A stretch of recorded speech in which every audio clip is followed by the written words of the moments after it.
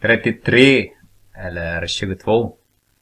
Baby eh, får 1360 kronor för 16 timmars arbete. Så 1360 kronor motsvarar 16 timmar, timmars arbete. Hur mycket får hon för 20 timmars arbete? Så vi kan väl kanske titta först. Hur mycket får hon på en timme? Om vi dividerar det med 16, dividerar vi med 16 så har vi en timme. Vad blir det då? 1360 dividerat med 16 så det är 85 per timme.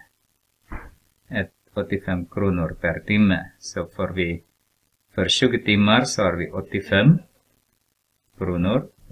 Multiplicerar med 20. Då vi 0 där. 0. 1700 kronor.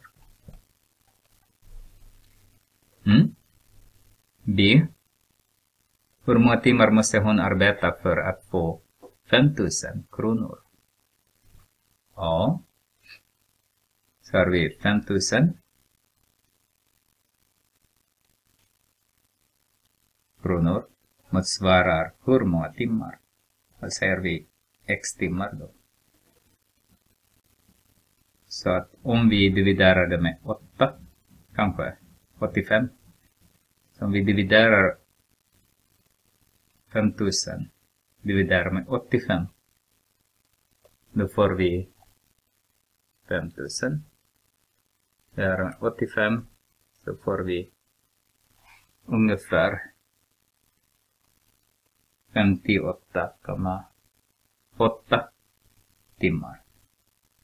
Ungefär, ungefär 60, äh, ja, 59 eller 60 timmar.